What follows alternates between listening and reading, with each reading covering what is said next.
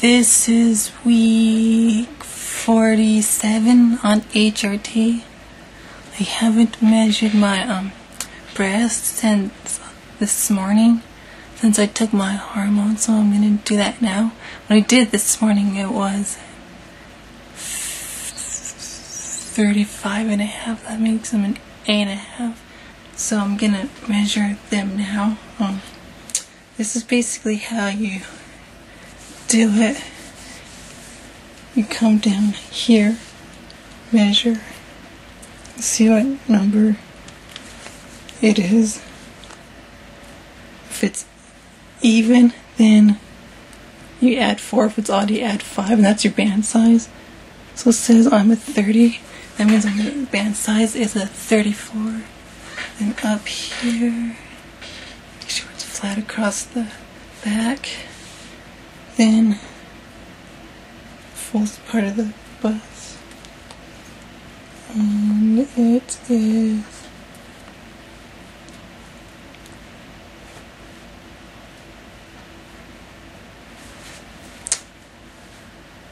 right there. The little silver mark is 35 and a half. So that means, because for the past, um, yeah, um, the past couple of days, I think it was since Wednesday, Thursday, yeah, when I've been measuring them, they've been consistently at 35 and a half in the morning before I took the hormones and after I took the hormones. So that means they're permanently at 35 and a half and they haven't gone down. So this is basically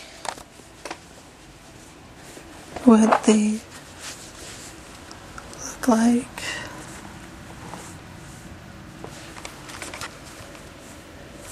It's kind of hard to see in this shirt, but they're a lot bigger because I looked at the images I took earlier compared from last week. It's like a lot bigger. I haven't put makeup on, and this is what my face looks like now. Here's why I haven't had makeup on because yesterday I had laser and I didn't put it on since so I can see where um, things were healing where I needed to put ice on and stuff so that doesn't mess up the makeup and stuff. The only other thing I can think of that has changes besides my breasts and face, it's just my leg hair is still decreasing, my body hair is like decreasing, it's like growing slower. My leg hair is decreasing, but the rest of my body hair doesn't seem like it's decreasing. It seems like it's growing a lot slower.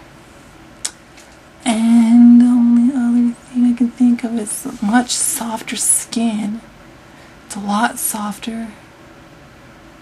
My sex drive has gone down dramatically a lot on a scale of 1 to 10 from down to like almost a zero, zero and a half, maybe one. Um, I do have a decrease in sperm.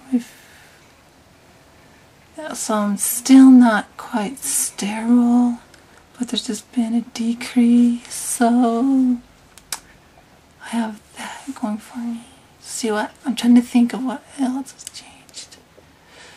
My hairline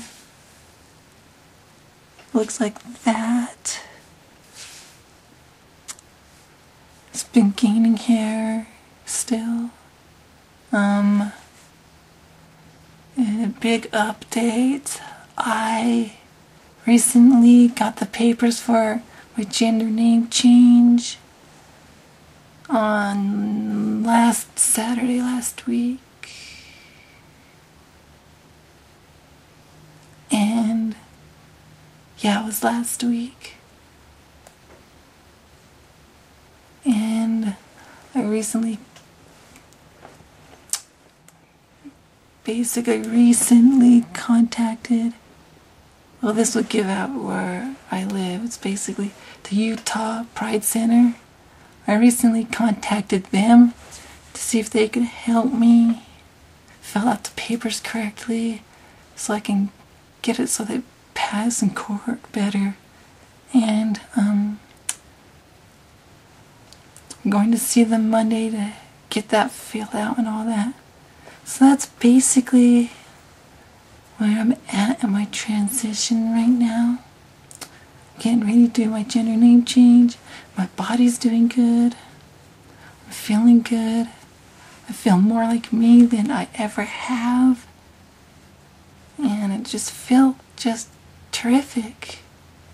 Felt a lot better since my hormones started really leveling out, going normal, and actually developing my body more.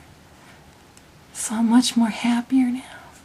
And the pain in my breasts hasn't gone down at all.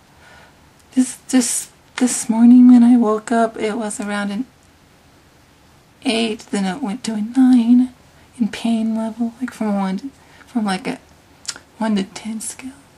Yeah, on a scale from one to ten, it was an eight, then it went to a nine.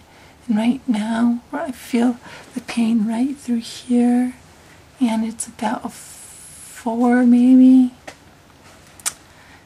This, it's on a scale of 1 to 10, the pain's a 4. So that's where I'm at my transition right now. So until next time, um, comment, rate, and subscribe.